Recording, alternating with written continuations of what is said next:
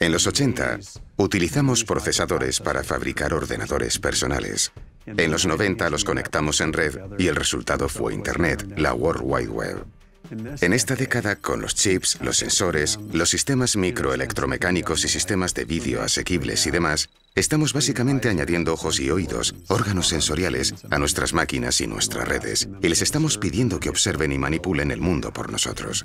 La conectividad más frecuente no es la que se da entre humanos, ni entre humanos y máquinas, es la que existe entre máquina y máquina.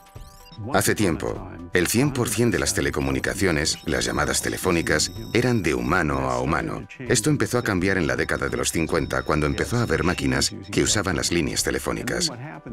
Y después las telecomunicaciones pasaron a basarse en máquinas hablando con máquinas. Y el tráfico de voz pasó a representar menos del 1% del volumen total. Y entonces alguien pensó, pues vamos a ofrecer las llamadas gratis, porque con las máquinas ya se pagan. Hoy la gente asocia la web con la posibilidad de acceder a la información. Todo el mundo dice, ahí es donde consigo información.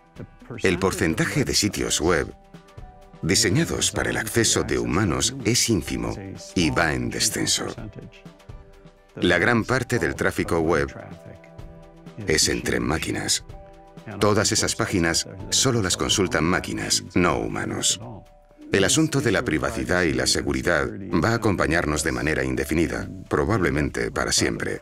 Si quieres privacidad, apaga esto y no lo lleves encima.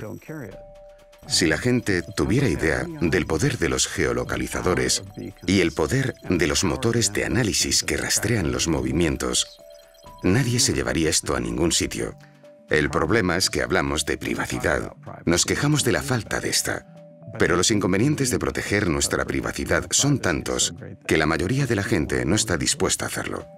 El uso de la tecnología en el sector sanitario es muy interesante. Lo que pasa cada vez que surge una nueva tecnología es que nos planteamos, ¿cómo puede resolver un problema viejo? El mayor reto al que se enfrenta la sanidad es también un reto en otros ámbitos. Y se trata de la línea que existe entre la satisfacción de hacer algo a corto plazo y el coste a largo plazo. Un ejemplo clásico de alguien que pensó a largo plazo para solucionar una crisis inmediata fue Charles Killing, que fue un profesor de la Script Institution.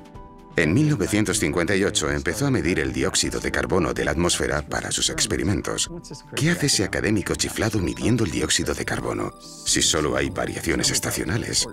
Nadie pensaba que fuese importante. Ese registro continuado fue absolutamente fundamental para comprender el cambio climático. Nadie reparó en su importancia hasta la década de los 70, cuando ya llevaba 20 años recopilando datos. El objetivo de la vida es aprender a convertirnos en buenos antepasados. Creo que la lección más importante del presente es que nadie es un mero espectador, que todos nosotros y nuestras acciones desempeñamos un papel y no hace falta ser un héroe para cambiar el futuro. Lo que podemos hacer para dar forma al futuro es darnos cuenta de que toda acción en el presente tiene eco en el futuro. Y a veces ese eco puede ser muy grande y muy inesperado. Por eso todo el mundo debería actuar sabiendo que cada paso que da tendrá una consecuencia dentro de 10, 20, 100, mil años.